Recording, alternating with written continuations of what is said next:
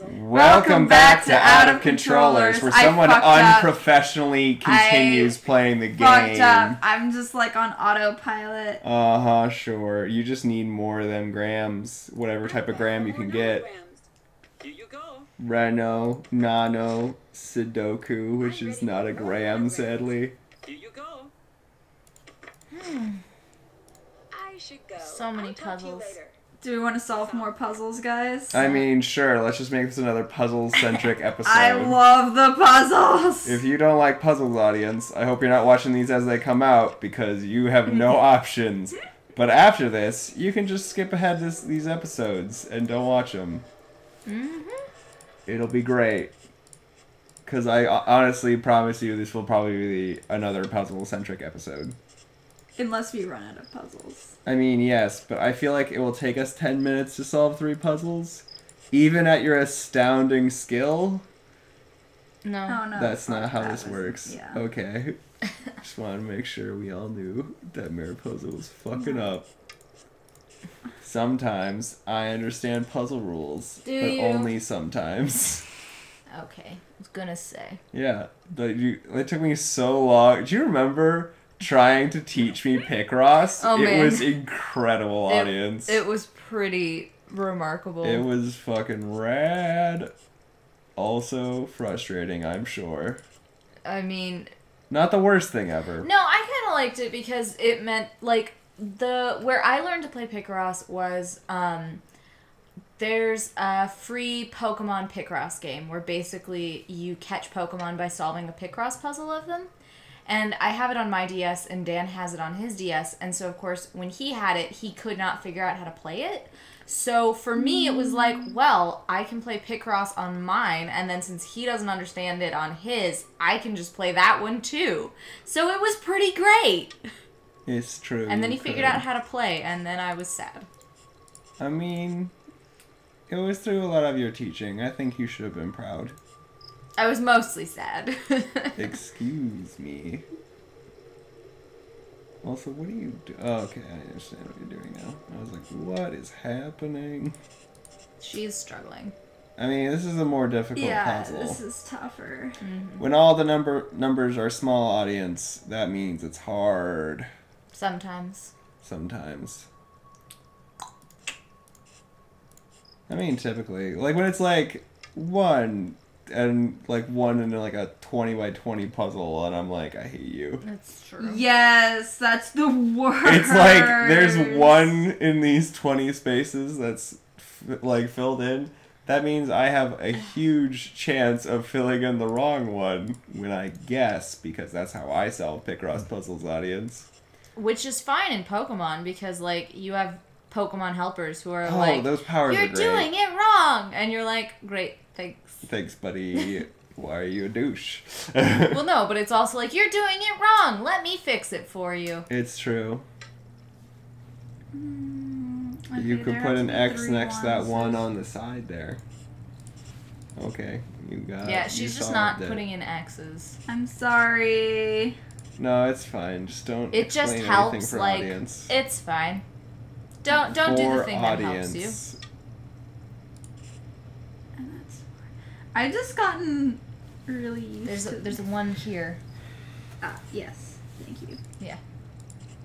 I forgot what I was doing because some people distracted me. And then there's an X here. Yes. There's also another one.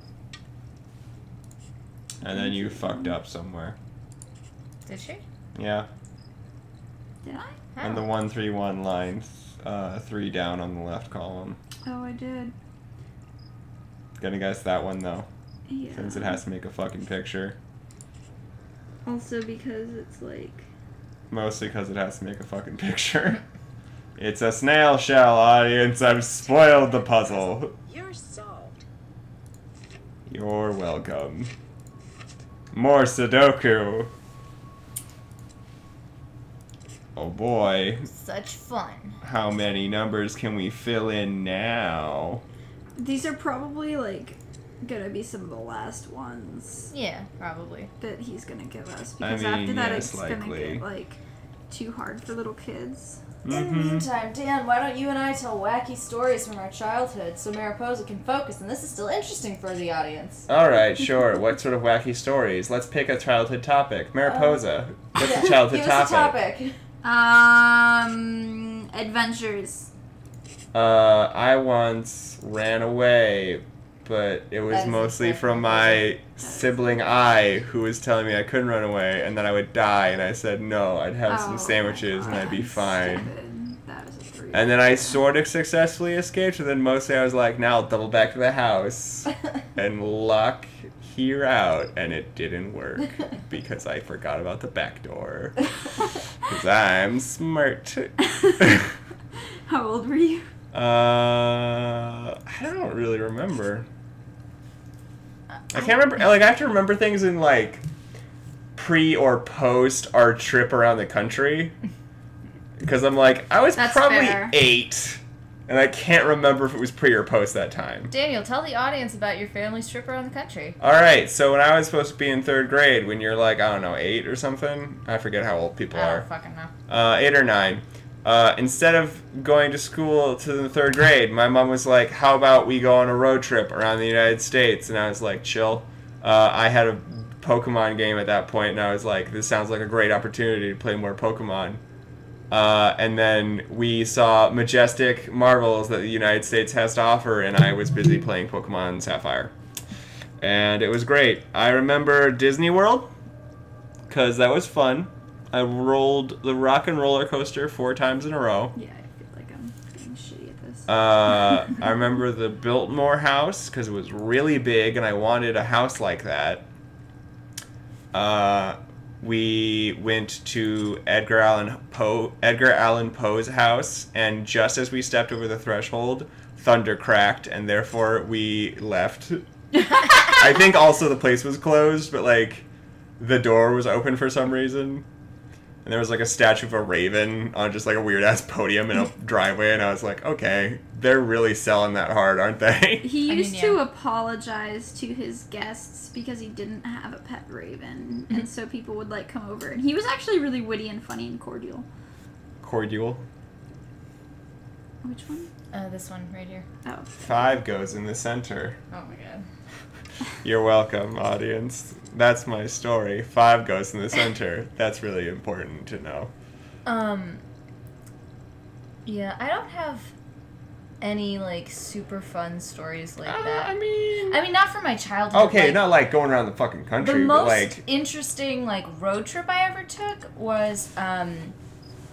We once drove from Illinois to Yellowstone National Park, which I want to say is somewhere near Wyoming. yeah, Yeah. Wyoming and that's Montana. pretty far. Yeah. So yeah, it was pretty far, and we drove through several states. Um, I also got in a car accident in Nowheresville, um, Nebraska, Oh. coming back from a ski trip. Um, and it was like it was one of those things where, um, like it was winter, obviously, because we had been skiing. Um, and my mom was passing a truck when she hit a patch of black ice, and she started fishtailing, and she had just about gotten the car back under control when um, the back of the car like clipped the side of the truck we were passing, and we went spinning out into the median. Oh shit! Yeah. So like nobody was hurt, but of course our back windows were all shattered and like this truck didn't even have a dent on it. It just had like a bit of blue paint scraped on the side of Of it. Of course not. Those trucks can like destroy anything. Um Me but- too. so you know like it's winter and we're sitting in the car and we're all a little bit shell shocked um, and so the, we have to wait for the cops to show up and so the trucker was like hey do you guys want to sit in my cabin so we all sat in the trucker's cabin and like i wish i remembered it better but honestly i had just been in a car crash so i was not paying much attention yeah. Well, that's like I have a story about that with a car crash. Here, does someone else want to take over the Sudoku while I Yeah. tell the story? I'll do it because I'm the most ineffectual. no ineffectual. here i'll do it Excuse me. Um, I was gonna be great. When I was little, I was probably like four or five at this point. Um, I was in a car crash. To sort of understand the car crash, you have to understand the way that my neighborhood is set up. My neighborhood, the entrance to, um, I live above a ski resort, and um, this is actually important. I don't think you could do it in 10 seconds. Listen. thing. no. No, okay. please set the establishing thing, and the next I- episode we'll I- actually hear the story. I live above a ski resort, right? And um, as soon as you get into my neighborhood, there's a blind curve. So coming out of the neighborhood, there's the same blind curve. And then the the thing is with the ski resort parking lot, um, there's this one part where the actual road goes up like on the le- on the left as you're going up the hill, and um, the parking lot sort of branches out on the right and then rejoins the road. So it's a one way parking lot. These hand visuals will be very good for the audience. and now, next time on Out of Controllers, we keep doing Sudoku and telling you stories. Get to hear the rest of my exciting story. Oh, yeah. Thanks for watching, guys. Thanks, Thanks for, for watching. watching. Bye. Bye.